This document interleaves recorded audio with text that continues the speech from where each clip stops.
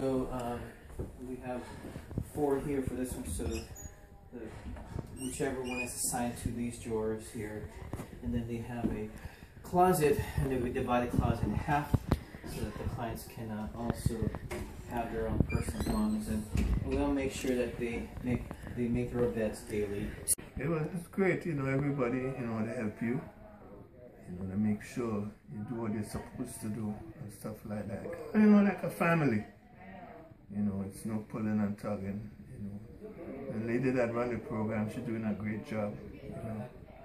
Just sort of ride down, you know, to bring the groceries and you can fix dinner or you could